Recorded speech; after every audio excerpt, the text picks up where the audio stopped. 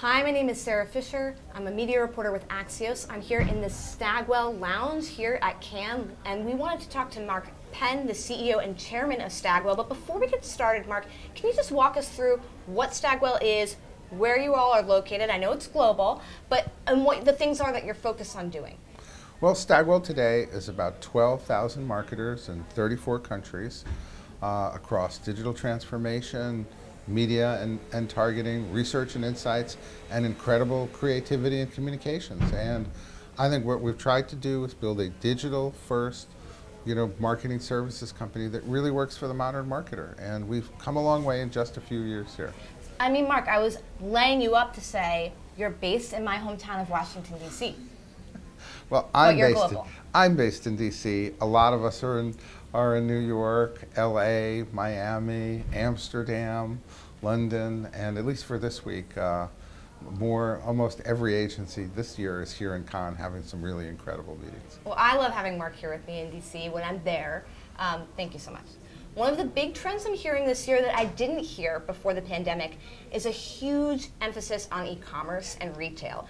Walk me through what you're seeing in that regard. Is it a lot more retail companies coming to Cannes, or is it that the traditional brands are just trying to think about how they get in touch with those retail companies? Well, remember what happened during the pandemic is there was a three to five year speed up of adaptation of online shopping.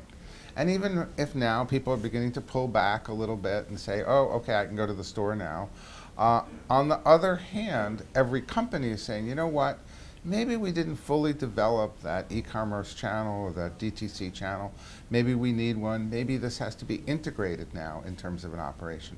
We used to do all brand marketing and drive people to the stores. Now maybe we're going to do kind of half performance marketing, half brand, have a DTC channel.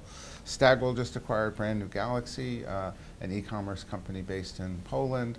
We've added that to our kind of media stream so that people can, you know, once you get into e-commerce, you've got thousands and thousands of pieces of content, and we have to get the right pieces of content to you in line with what you're what you're interested in. Otherwise, it's kind of a waste of time. So you definitely have to have a lot of expertise to be doing something like that, creating all the different type of content. One of the things that I saw last time we were here in Cannes, in this very room actually, was that you had so many companies rise to the top, whether they were digital disruptor brands or digital disruption agencies like Stagwell, because they had expertise in this. Now, fast forward, some of the disrupted are becoming disruptors. They've watched how those companies with expertise have evolved and have gained, and so they themselves are starting to invest in those types of tools, technologies, data, et cetera. How are the established companies now becoming very much disruptors, both in e-commerce, but also just in digitization, quite frankly. Well, look, you, you have to look in general at marketing itself to see how it's disrupted and changed. So when you go back to 2000, uh, approximately 35% of marketing dollars were spent on TV mm -hmm. and 33% on newspaper advertising. Wow. Now we're at the stage where 51% is spent online, 27% is spent on TV. Wow. So now if I am a CMO of an organization that has to do that, that means I don't start with an ad and placing it on the Super Bowl or you know general media anymore. I start with an understanding of first-party data, how I analyze that data, what third-party sources of data, what insights I have on that data, and only when I have that, then I can build a creative platform. And then I have to execute that creative platform against maybe 10 different mediums now. So either you're a modern marketer who has adopted that system, or you're stuck in the past and you're struggling in some way, or life's pretty simple and easy for you, right? And uh, you know, and and kind of what we point out is Stagwell was built really for that new kind of marketer. And what you're seeing is the transformation of CMOs from the first kind to they were kind of in the middle, right, for a number of years. And, and now I think you're seeing CMOs adopt the whole process 100%, and that that really is at every level with every company. So is it fair to say that the CMO needs to be kind of like the CIO at the same time? Well, I think I don't think that a C, CMO has to be a complete techie, right? I think that a CMO has to be comfortable enough with both data and creativity.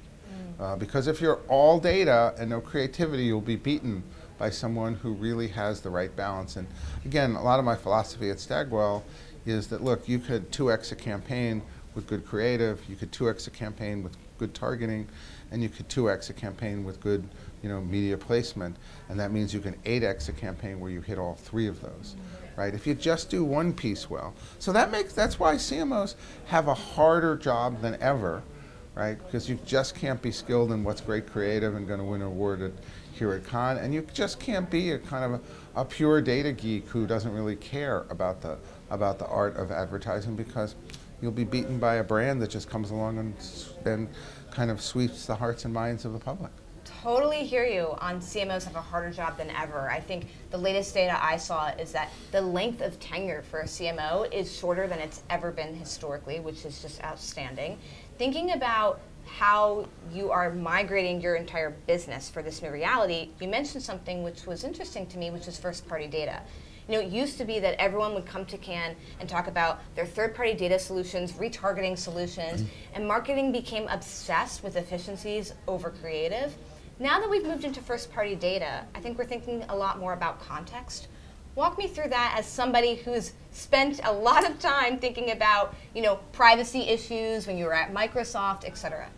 Well, I mean, you at Axios are good generators of first-party data, right? Who who reads a story about cars versus who reads a story about entertainment or who's really going to be interested in this interview. And I think, I think everyone starts with a realization that they have to understand who their consumer is, that if they're not doing it, that is the, the freest part of the process, right? They don't have to buy it from somebody else. It's the closest to their consumer experience. And I think they realize that, that the whole marketing flywheel has to start with an understanding of that. Now, it doesn't mean it's fixed. Your consumers could change, right? You could have a whole series of new stories that brings in new kinds of consumers. So I don't think people should get uh, the, uh, the idea that their consumer base is a fixed set of people. Mm. Frankly, it can change as you change your product mix.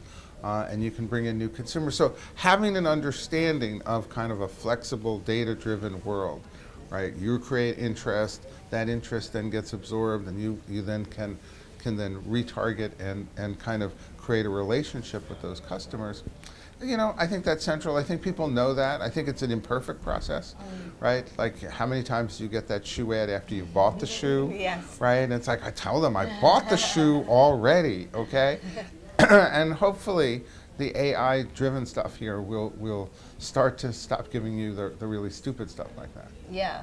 But, okay, so a challenge, though, is that until we get to the point where that AI is good enough, there's still a trust gap where I think consumers feel like the tech might be too smart, maybe a little bit creepy. And that becomes a problem as we enter into a new phase of the internet when we're thinking about things like the metaverse and VR and AR. How do we build trust into the new world of marketing, into the new, next phase of the internet, when we're not really even totally getting it right now? Yeah, I am seeing an increased problem with consumer trust uh, and tech companies and the whole process of kind of how much privacy one should have. And I think unfortunately, all of these privacy issues are being lumped together, right? And, and really, people care about, say, their mail or their texts or their prescription drugs and their healthcare stuff. But whether they buy a shoe or not or eat a hamburger, they're okay with companies finding out about that and marketing to them on the basis of products that they really like. And I think we have to do a better job at differentiating that, as you say, letting people say, hey, contextual advertising based on your habits is useful to you. On the other hand, if we could draw some clear limits, we're not going to use your mail, we're not going to use your prescriptions, we're not going to use certain areas, I think that would give consumers a lot of confidence. And when they're drawing those limits, how should they be communicating to consumers? Because I know for me, I'm looking through these policy privacy things and I'm just scrolling through forever. I'm not reading yeah. the actual text. So how do you get that message across? I think 30-page uh, documents in six-point type is the best way I know to get consumer approval on anything. Uh, no, look, I, I think that, you know, like all things, you should have in plain type and plain language we're going to do X, Y, and Z, and then have all the type. And I think that now we've gotten into a world of kind of meaningless quick approvals mm -hmm. that are needed all day long. You know, in Europe here, you're just saying, okay, okay, in order to see every website. And so have they really produced a productive process right? Am I really making a choice between the app?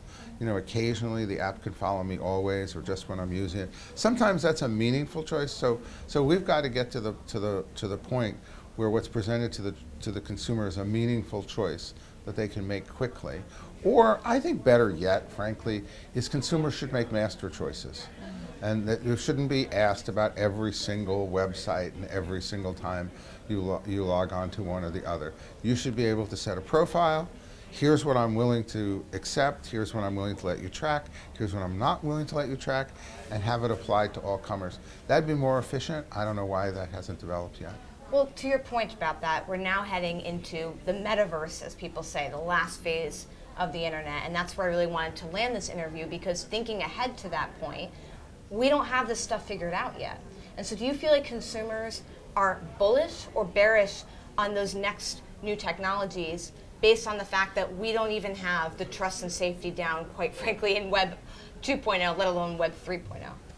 Uh, I think there are some problems uh, on the surface here because I was at an Oxford Union debate on the metaverse, and I've never seen before so much outright skepticism of the tech companies. Huh. So what they're really saying is, look, Web 2.0 has problems. Those problems include uh, kind of control of big tech, a feeling that maybe we're manipulated somewhat, a feeling that privacy controls are, are not real. And their assumption is not that, that Web3 is going to be better or that the metaverse is going to be better, but that it's going to be more of the same or even worse.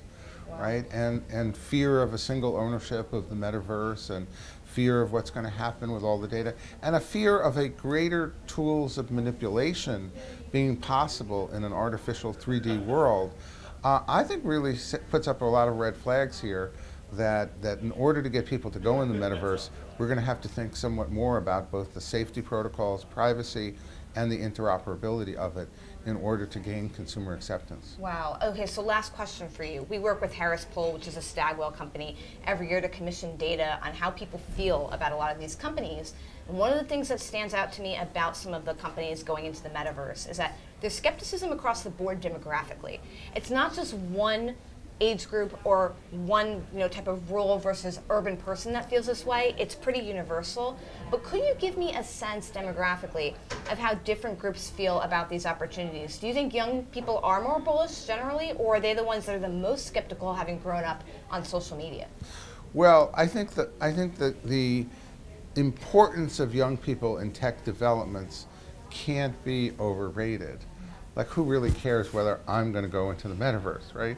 What they we really, really care about is whether whether my children are going to make that kind of transference into the metaverse. So, so it's a practical matter. While I generally believe we should look at marketing from like 18 to, to 92, mm. in this case, I think that, that even young people who are generally the most optimistic about technology now have skepticism, not about technology itself, but about the companies behind the technology and they're going to have to do a better job. And you see, I think, I think you see Amazon, Google with pretty strong images overall, uh, and you see Facebook and Twitter with, with incredibly decimated images. So right? just final word as we head out of here, what's your advice to those types of companies that are struggling with an image? Well, I think they're going to have to come to terms with the specific issues and do a better job of communicating the boundaries that they are not going to go through and give people kind of greater assurance as we move into the next world of technology that people will have greater control both over their data and, and both over uh, a, a, feeling that they're not being manipulated, that they, that they know what's what, that they know who really apps and bots are really working for and getting some, some transparency. It'll be interesting to see if Elon Musk takes over Twitter and whether he can infuse some of those principles in and whether, whether it will make a difference because when it comes to image, there's no big tech company lower than Twitter.